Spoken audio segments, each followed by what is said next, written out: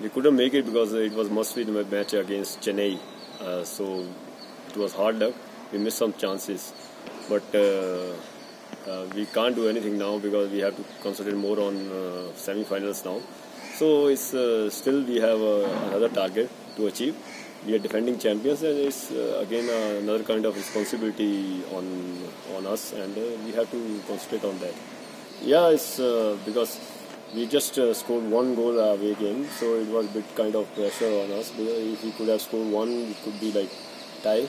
But anyhow, uh, all the players they have, uh, as coach has asked them to deal as a professional, and we did.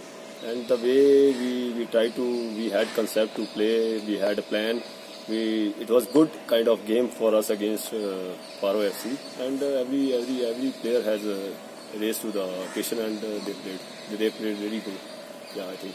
Yeah, of course, of course. I I, I enjoyed my football uh, through this quality as a, as a versatility, and uh, I am very happy that even uh, that I am uh, taking this responsibility and performing for the team wherever coach asks me to play, and it really makes me more uh, happy and gave me more joy to play in such a such a best team in, in, in the country. Yeah, he he is a he's a he's a main player and uh, he's uh, performing consistently from uh, last uh, two three seasons.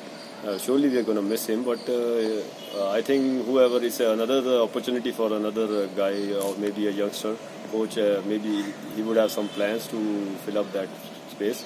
I think it's a, it's a kind of a great opportunity to play against Kerala Blasters. It's a big crowd there, and to rise uh, at the occasion.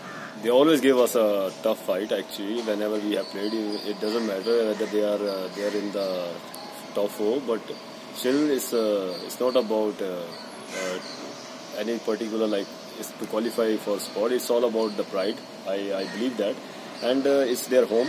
And surely, just to they are going to be there. They have nothing to lose and they are going to perform at edge, and we have to be ready for that. And I think team, uh, we are, we all players, we are professional. We are trying to be up to there, up to the mark, and uh, perform well and win, win that match.